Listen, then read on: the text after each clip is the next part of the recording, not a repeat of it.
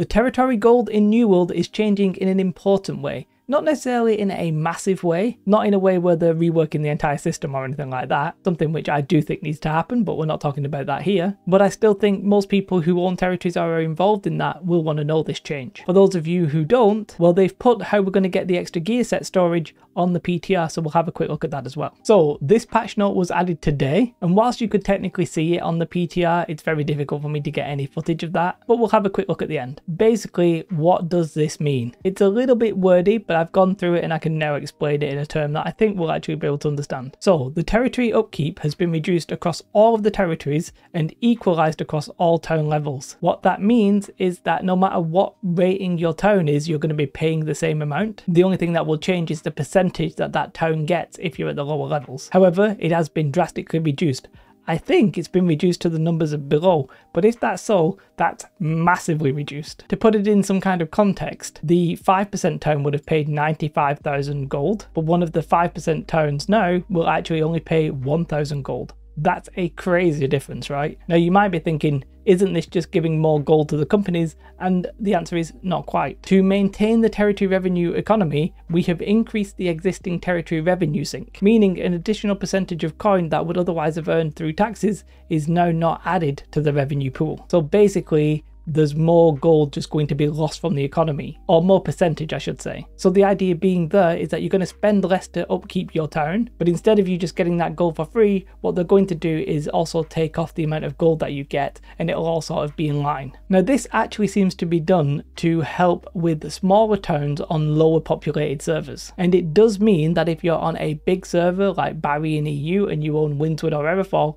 the amount of gold that you're going to get might actually be going down. So they say here, the result is lower population worlds will now have a near guaranteed income for owning territories. Now they say near guaranteed because if there's literally nobody on the server and then they don't even make over a thousand gold, technically you would lose outright. But the risk will be small and it's very likely that you will make some gold, even on a very low populated server. While larger population worlds will see a decrease in their total revenue earned. And that's because it's a percentage base, right? So on a larger populated server, what's going to happen, let's say you earn 2 million million gold in Windsward. Let's say 100,000 of that was removed because of the upkeep that left you with 1.9 million. Well, now what's going to happen is only 2,500 gold is going to be removed from that 2 million. However, it's not actually now going to be 2 million because the percentage that is actually getting put into that pocket into that pool is going to be lower. So instead of it being 1.9 million, it might actually drop to maybe like 1.8 million, 1.7 without actually knowing the exact percentage that they're putting in the tax. There's no way I could actually do the maths, if that makes sense. So one of the changes there is that no matter what level your town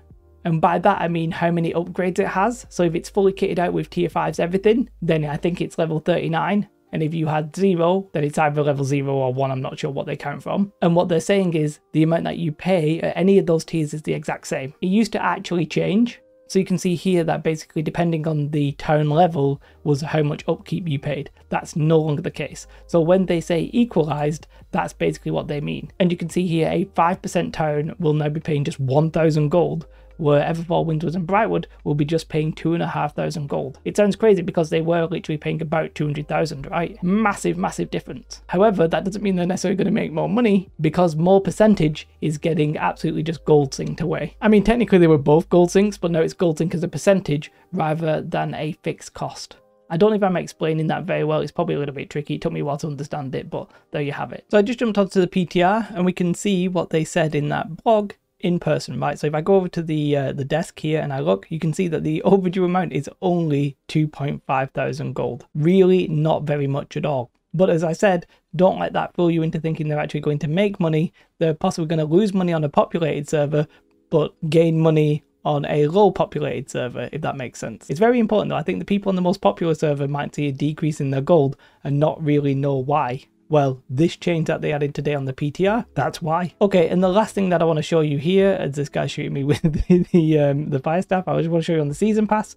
If I go all the way to the end, you can see they have now added on the end ones, but you'll notice that for the free track, they are now saying special additional gear set slot. So basically, you will get a free gear slot, However, you are going to have to get to level 100. That's going to be super important. A lot of people are going to want that. Obviously, it's free. I mean, I'm a little bit curious if you can just buy it instead of just getting the free one. Are they going to like cap out the amount of gear sets and it really doesn't matter how you get them? Maybe, maybe not. We'll have to wait and see, right? And then for the premium one, I mean, there's nothing as interesting though. It's just some uh, like jewelry and stuff like that, some weapons. It's basically just a loot box. But it's interesting to see that on the free one because I was wondering when where that would be on the list, and now they put it at 100. Okay, fair enough. So that's it. It's like a real simple change, but it's very important, I think, for all the people who are doing wars and are in that territory control system. And there was quite a lot of people doing wars. You will be very interested in this, I think. However, it's probably going to fly under the radar for most people, so I thought I'd make a video on it. If you want to support the channel, becoming a YouTube member or Patreon is truly the best way.